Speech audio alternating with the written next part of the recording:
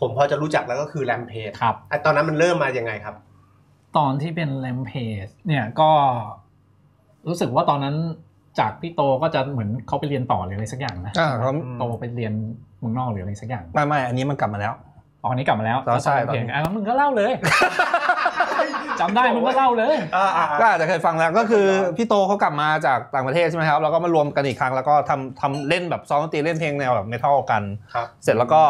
มันมีจังหวะที่พี่โตเขาเราแนะนำให้พี่โตอะไปเจอกับซิติฟูเขาถามถึงแรมเพจไง แล้วเนี่ยมันต้องเล่าล้วงนิดนึงเท้าก่อนเท้าก่อนยังไม่ถึงยาวเสร็จปุ๊บพอ นักร้องของเราไปร่วมงานกับซิติฟูแล้วอ๋อผมก็พี่โองค์ก็ยังลุยกันต่ออ๋อลุยกันต่อใช่ใช่ใช่ใช่คราวนี้เราก็เริ่มหานักร้องครับ ได้สมาชิกเป็นพี่หนินมางก็เล่ายังยังขัดขัดเลยจะจบไหมเนี่ยใจเย็นนะครับทุกคนใจอ่เย็นนะาถูกแล้วถูกแล้วไอ้นี่หนังถูกไหมอะไอ้นี่เสร็จแล้วก็เริ่มรวมตัวได้หนีดมาครับได้หนีดมาเสร็จคราวนี้เราก็เริ่มซ้อมวงแล้วตตออนนนั้นั้นนก็เป็นสามชิ้นสามชิ้นก่อนพี่โองค์ร้องครับใช่ตอนนั้นเราก็ทำเพลงเสนอฮ้ยผมร้องเพลงอ่าเว้ยเฮ้ย แล้วมันเมื่อกี้แอบบอกว่าร้องไม่ได้ ก็นี่ไงมันสุดท้ายสุดท้ายมันได้ไหมล่ะอ๋อในในปีนั้นน่ะคือร้องได้แหละตอนนั้นร้องเขียนเนื้อตามพี่โองค์เล่าต่ออะผมส่งให้กูอย่างนี้เลยมันโบกตุกๆเลยกูถีบกูไปต่อเลยอะประมาณว่าพอเป็นสามคนเสร็จใจความฝันในวัยเด็กก็ยังคงอยู่คือครับอยากจะส่งเพลงไปที่แกรมมี่เออคือโฟกัสเดียวจริงนะตอนนั้นก็อืมแปลกดีเหมือนกันนะทั้งที่ก็มีตอนนั้นก็มีค่ายอื่นด้วยอ่าไอเอสอะไรก็ยังมีแต่ก็รู้สึกว่าอย่างที่บอกอะ ทำเพลงกันเสร็จอยากส่งแกรมมี่ว่ะอะไรเงี้ย ก็ร้องทำยังไงเองดีอืมร้องเองเสร็จปุ๊บมันจังหวะ จังหวะที่เราไปเจอพี่ปุ๊กใช่ไหมอือหือพี่ปุ๊กนี่คือเป็นเหมือนผู้จัดการผู้จัดการวงฟลายครับไวนอเซเว่นอะไรเซเว่เงี้นยอะไรเงี้ยตาวาวอีกแล้วนะว่าทันทันทันอยู่ทันอยู่ทันอยู่อ่าโอเครู้จักรู้จักรู้จักถูกถูกถูกเฮ้ยผมก็ไปเจอไปเจอแกแหละเป็นเป็นเหมือนผู้จัดการวงพี่ปุ๊กนี่ก็เป็นหนึ่งคนที่ที่อาจจะส่งต่อให้เราอือฮึเขาบอกเฮ้ยเออพวกมึงน่าสนใจว่ะลองเอา อ่าไหนมีรูปมีอะไรมีเพลงสามอะไรชิ้นนะนะพี่นะสามชิ้นปโอระเคมาณโอเคก็ส่งไปที่แกรมมี่ก่อนครับส่งไปที่แกรมมี่ปุ๊บเราก็แบบโหตอนยุคนั้นแม่งโทรศัพท์บ้านอย่างเดียวอะโทรศัพท์บ้านอย่างเดียว ส่งเป็นซองจดหมายพร้อมกับเทปไปอะไรเงี้ยทุกอย่างคืออนาล็อกอันนั้นหรอกพร้อมรูปถ่ายสามคนอะไรนึเงี้กยภาพว่าโทรศัพท์พี่โองค์ไม่ได้ว่างอยู่ตรงหัวบันไดเราก็นั่งอยู่ตรงโซฟาแล้วก็รอโทรศัพท์รอจริงนะนั่งมองโทรศัพท์อารมณ์อยู่นั่งรอมองโทรศัพท์อะโอ้ยก็รอว่ามันจะโทรมาเปล่าวะอะไรเงี้ยพอมีโทรศัพท์มาก็แบบฮัลโหลอ๋อ ใช่ไหมใช่ใช่จนมีโทรศัพท์โทรมาจริงจริงเออว่าตอนนั้นเราใช้ชื่อวงอะไรวะสักอย่างหนึงอะฟันบอยเออมาอ่าฟันประบมาอณยนะประมาณสวัสดี Fun Boy ค่ะอะไรเงี้ยบอกเป็นเสียงผู้หญิงโทรมาโทรมาจากแกรมมี่อะไรเงี้ยอ่าฮะวงฟันบอยใช่ไหมเราบอกเฮ้ยทำไมของจริงวะเพราะว่าเฮ้ยเพราะชื่อวงไม่ได้บอกใครคนลุกคนลุกเอออารมณ์ประมาณนั้นก็บอกว่าห้องน้ำห้องน้ำห้องน้ำไม่ใช่เฮ้ยเฮ้ยคนลุกเราอินตามอินตามก็เลยบอกว่าให้มาแบบว่ามีงานให้เข้ามาเหมือนมา ถ่ายมิวสิกสักวิกีดีโออ่าสักอย่างเทสอะไรอย่างเงี้ยใช่ไหมอารมณ์ประมาณแบบว่าจะให้มาร่วมงานถ่ายมิวสิกวิถ่ายดีโอมิวสิกวิดีโออ๋อทีแรกถ้าจากเห็นจากรูปอะไรเงี้ยเราก็เฮ้ยอ่าฮะคืออะไรวะโอเค เป็นศิลปินใหม่ที่กำลังจะออกอัลบั้มกับแกรมมี่อืมให้ทายว่าคือใคร ทางบ้านตอบถูกนะครับผมรับจะรางวัลไปเลยนะครับจากรายการคใช่รับครับส่งเลยมีส่งมีให้รางวัลอ๋อมีมีเอาเลยพี่หยิบมาตัวนั้นตัวหนึ่งโอ้ยตอบไม่ถูกหรอกลึกเกินเออเล็กเกินอ่าเอาเป็นว่า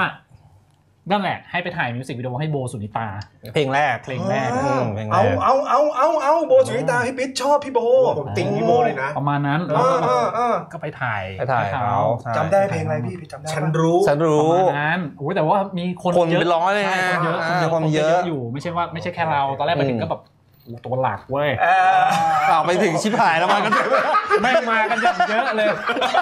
ไอตัวหลักก็มีอยู่ ไอ้นี่มันโชคดีนิดนึงคือหัวเขาหัวทองอ่าอ่าก็เลยจะมีซีนให้เห็หน่อยได้มีซีนไปยืนโซโล่งโซโล่หแอน่กอๆหยน่อยอ่าแล้วก็โอ้ยโอ้ยนั่นแหละจุดเริ่มแล้วก็มีพอหลังจากนั้นก็มีที่เป็นเหมือนสกู๊ปของโบสุนิตาที่เขาขายได้ร้านตลับอะไรอ่าเงี้ยเขาอันก็นี้ก็ชวจะนเป็นไปเราสามคนและองค์เก่งหนีไปแบบไปเล่นให้เขาในสกู๊ปอะไรเงี้ยแล้วก็เริ่ม ด้วยเพลงที่ส่งไปอือหือครับนะตอนนั้นก็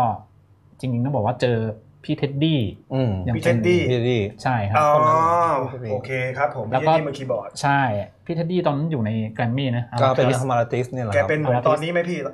ตอนนั้นไม่น่านะตอนนั้นตอนนั้นจะมัดอีกบ้านอีกบ้านตอีอกนบ้านั้นนจะนิ่งๆหน่อย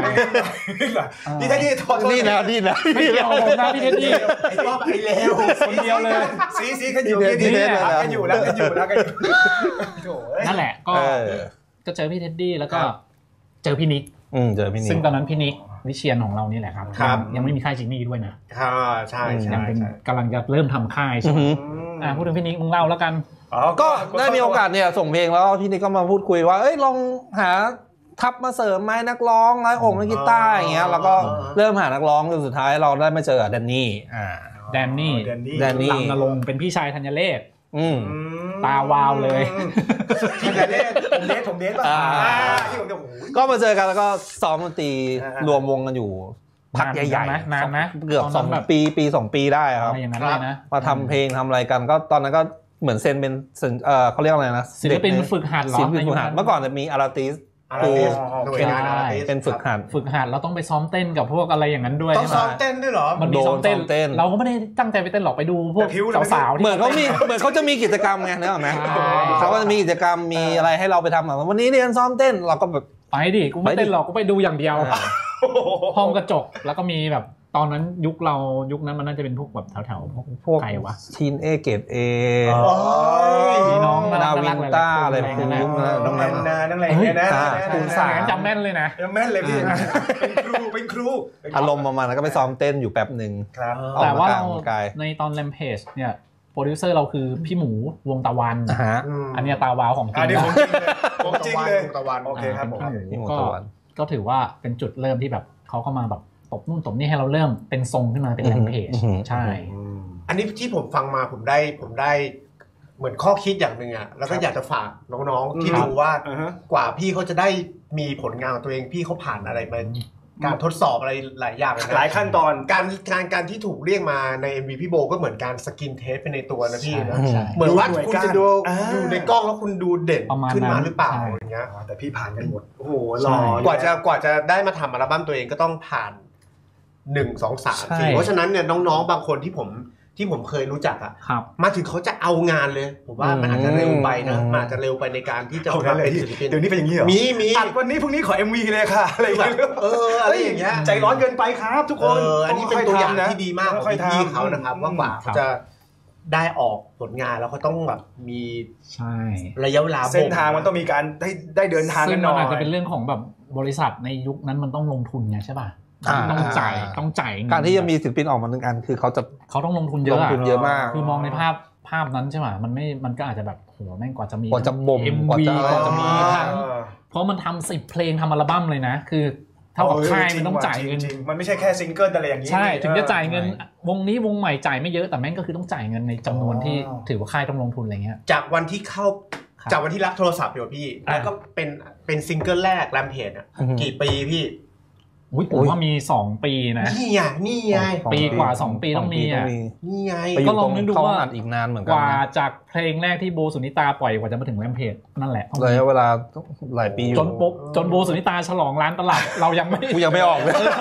ยังไม่ถ่ายเอ็มบีเขาอยู่เลยโอเคโอเคนี่ไงล่ะถือว่าเนี่ยบ่มความอดทนอดกลั้นกันอยู่อ่าได้อยู่แล้วเป็นเป็นเรื่องสำคัญมากเลยนะครับอืมอยากฝากน้องๆไว้ว่า ยุคนี้ถึงมันจะเป็นยุค YouTube ที่สามารถสร้างเพลงเองอะอ่าแต่ทุกอย่างมันต้องมีการบ่มเพาะแล้วก็ใช่คัดกรองอย่างดีถูกต้องใช่ถึงถูกต้จะองได้ครับถึงจะได้ผลงานคุณถูกต้องภาพถูกต้องครับต้นไม้ไม่ได้โตในวันเดียวอืมอ่าอะโอ้แน่แน่แน่แน่แน่เหมือนจำมาจำมาเหมือนรอรอตับนี้เลยอะใช่ใช่ผมจำมาจำพี่วูดดี้ไหนมาจดมาปะเนี่ยจดมาปะเนี่ยไม่มีไม่มีเห็นท่องมึงเอามาตั้งแต่แรกเลยต้นไม้ไม่ได้โตในวันเดียวต้นไม้ไม่ได้โตในวันเดียว